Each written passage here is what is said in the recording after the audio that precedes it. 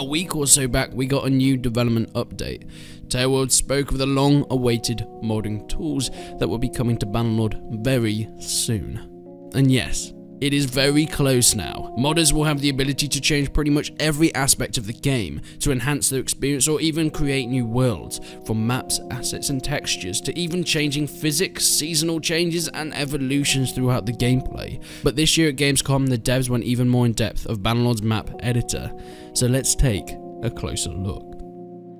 Uh, today, as you might know, uh, we are going to talk about the scene editor. It's one of the fundamental tools about our modding tools that we are hoping to share with you all as soon as possible. And we are going to recreate one of the scenes that already exists in the game.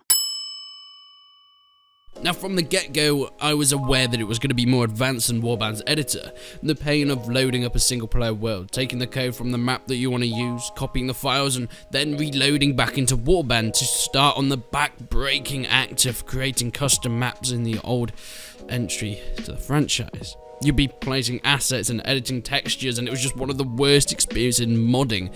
But hey, look what we still had in Warband. We had smaller asset changes in campaigns like Blood in the West, or we had entirely new game modes created in Full Invasion 2. Even whole open worlds were made with in-depth crafting, resource collecting, government systems, and clan kingdoms in Persistent World.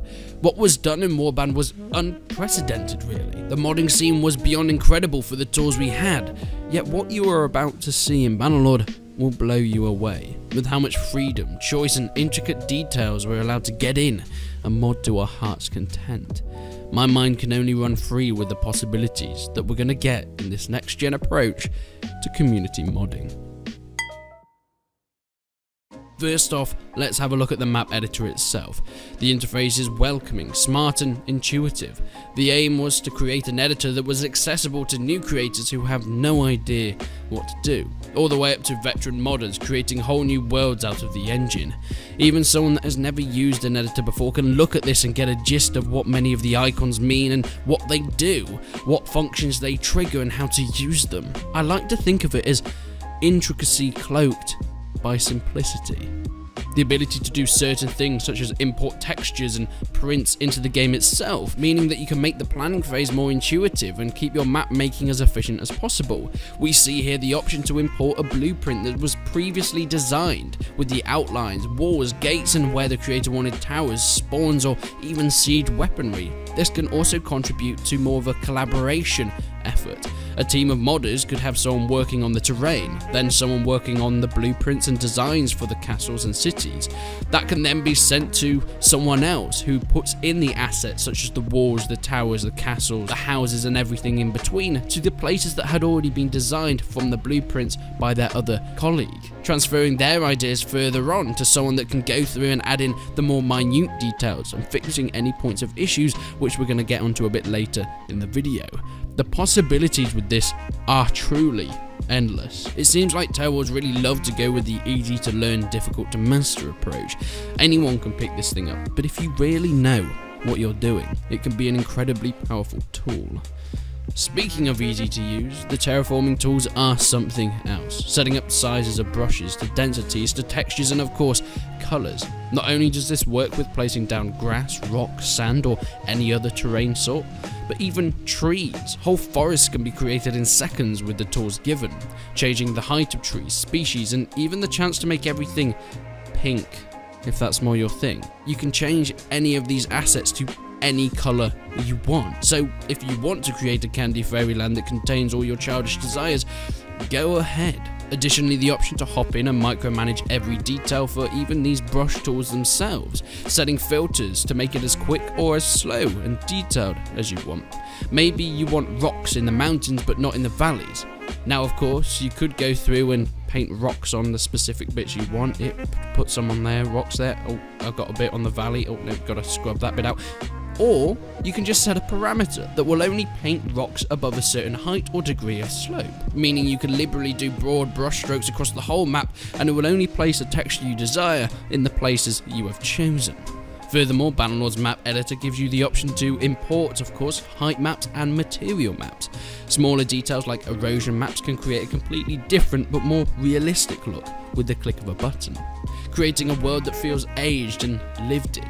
All terrain and foliage can be colour changed as I mentioned earlier. Maybe you just want a lighter grass in the steppes or darker green in the forest where it's damp and dingy. Or you just want bluegrass, because why not? Bannerlord ain't gonna stop you. You can even create your own meshes that can be placed beyond the playable areas to create the illusion of rolling hills, forests or distant mountains. They can be custom made to your exact specifications or added from the presets the editor gives you from the get-go. Let's get into the actual castle creation. All the assets that are in the game that you'll see throughout your single player and multiplayer can all be utilised and bent to your will in the map editor.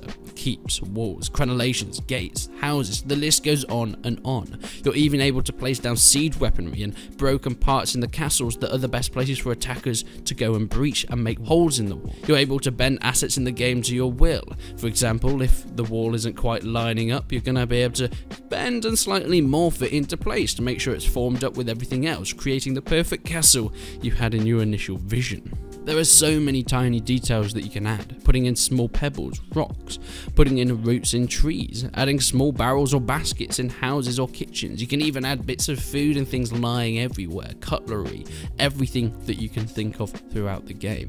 This can also be used in conjunction of adding in NPCs and AI that can of course be scripted, as we were shown in the official release of Modding Tools Development Update from TaleWorlds. Pretty much all the objects can be changed with custom textures. Maybe you want to change the water into lava, or maybe you want a modern house instead of these medieval houses. You can see where I'm going with this. These can all be altered and changed within the editor itself.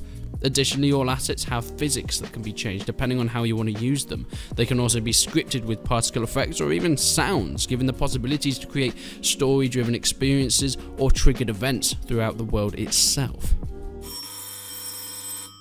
We've looked at a micro level though, but what about taking a step back?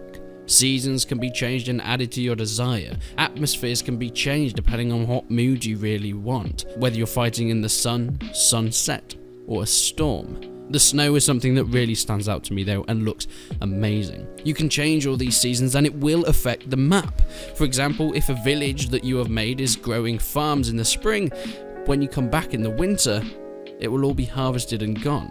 Speaking of dynamic editor functions, the game will also change as the castle is upgraded. Much like in single player where you can grow and change your castle, upgrading it to different tiers, the map editor can also upgrade between these tiers, and you're able to switch between them seamlessly.